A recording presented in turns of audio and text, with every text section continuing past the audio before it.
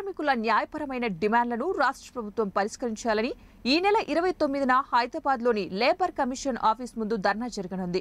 CITU ఆధ్వర్యంలో మంథని అంబేద్కర్ చౌరస్తాలో కరపత్రాలను ఆవిష్కరించారు.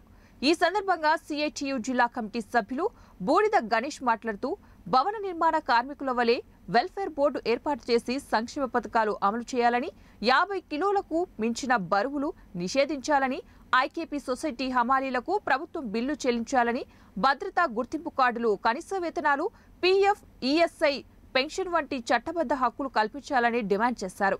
ప్రమాద బీమా ఆరోగ్య బీమా సౌకర్యాలు కల్పించాలని ప్రభుత్వ గోదాంలో పనిచేస్తున్నటువంటి హమాలీలను నాలుగో తరగతి ఉద్యోగులుగా గుర్తించాలని హమాలీ కార్మికులందరికీ ఇళ్ళ స్థలాలు ఇచ్చి డబుల్ బెడ్రూమ్ ఇవ్వాలని తదితర సమస్యల పరిష్కారం కోసం ఈ నెల ఇరవై తొమ్మిదవ తారీఖున హైదరాబాద్లోని లేబర్ కమిషన్ కార్యాలయం వద్ద జరిగే ధర్నాలో మంతని ప్రాంతం నుండి హమాలీలు అధిక సంఖ్యలో పాల్గొని కార్యక్రమాన్ని జయప్రదం చేయాలని కోరారు. కార్మికుల సమస్యలు పరిష్కరించాలని all Mandal Hamali workers union CIT ఆధ్వర్యంలో ఈ నెల ఇరవై తొమ్మిదిన హైదరాబాద్లోని లేబర్ కమిషన్ కార్యాలయం ముందు పెద్ద ఎత్తున ధర్నా జరగబోతుంది.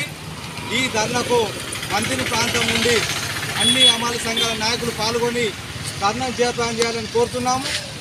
ఈరోజు అనేక సంవత్సరాలుగా అమాలి కార్మికులు ప్రభుత్వ యొక్క అభివృద్ధి కోసం ప్రజల అవసరం కోసం పనిచేస్తూ అనారోగ్యానికి గురవుతున్నారు. యాభై సంవత్సరాలు నిండిన అమాలి కార్మికులు అనారోగ్యంతో కీళ్ళ నొప్పులతో మోక నొప్పులతో బాధపడి మంచానికి పరిమితమైన పరిస్థితి ఉంది. ఈరోజు సిఐటిగా మేము డిమాండ్ చేసేది ఏంటంటే యాభై సంవత్సరాలు నిండిన అమాలి కార్మికులకు పింఛన్ సౌకర్యం కల్పించాలని సిఐటిగా డిమాండ్ చేస్తున్నాం. అదేవిధంగా పిఎఫ్ ఈఎస్ఐ సౌకర్యంతో కల్పిస్తూ ప్రమాద బీమా సౌకర్యం కూడా కల్పించాలని సందర్భంగా